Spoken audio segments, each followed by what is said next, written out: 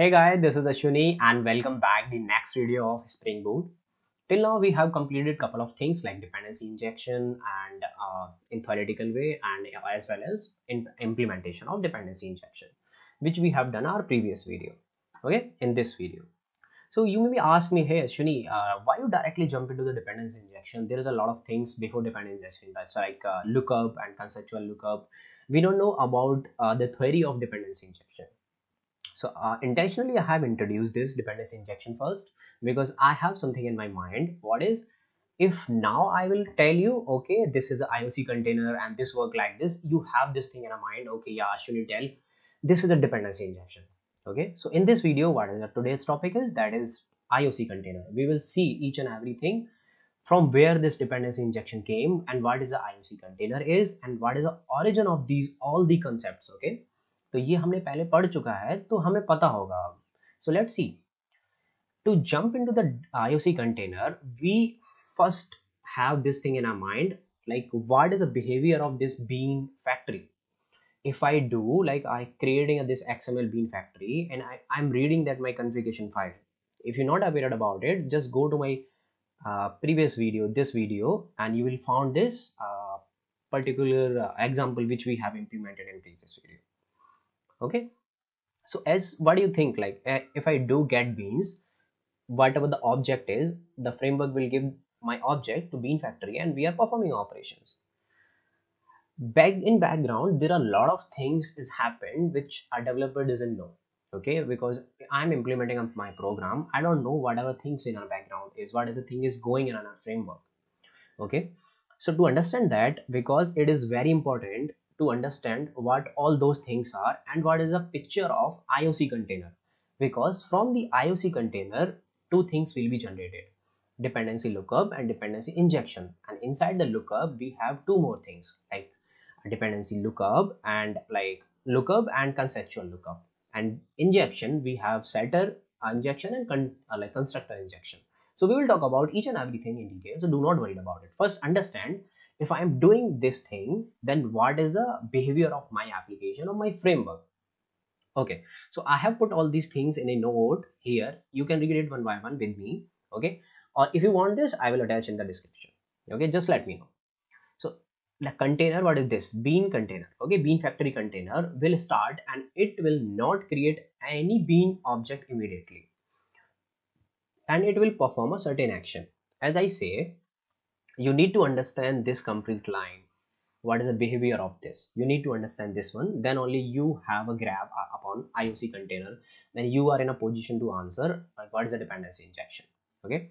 So we say like okay it will take it, it will uh, take bean configuration file name and location from the resource object. Which resource object?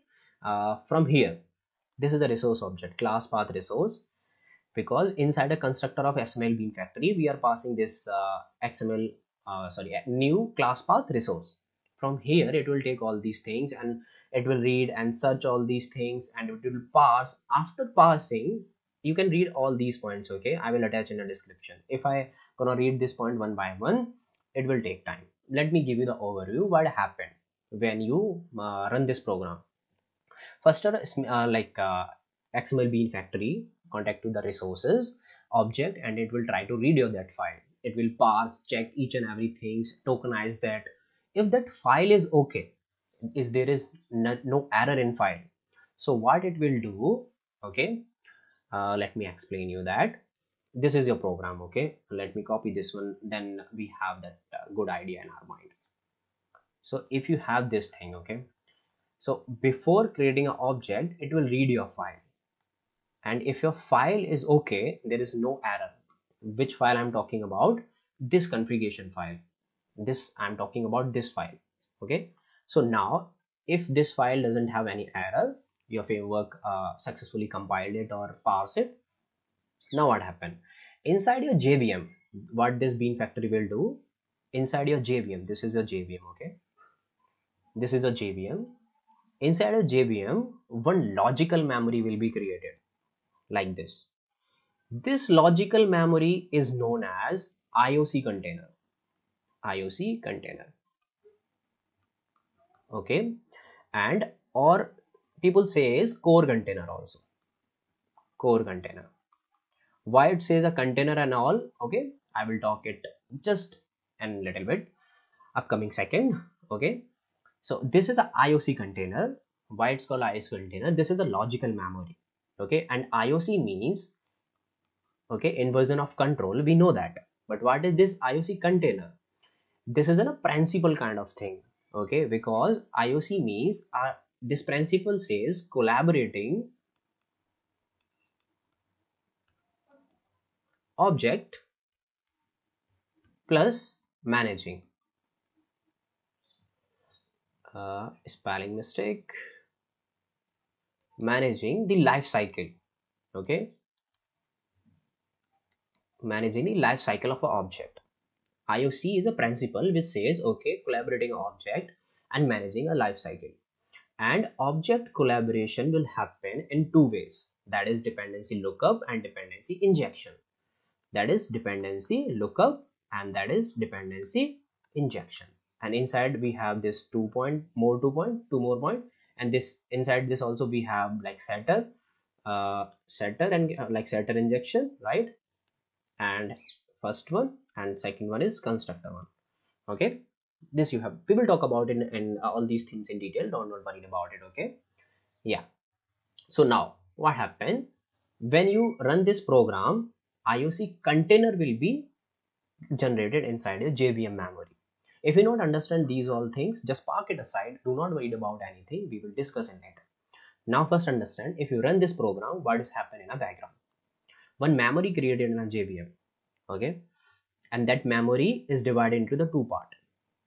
Here it is a metadata. And here this top memory also divided into two part. At first part it has a reference. What reference? Uh, let me copy that also. This file okay. Mm, okay. So we are having this also here. So it says we have this account object right? Our account reference. So here uh, this is called account okay? And one object will be created here.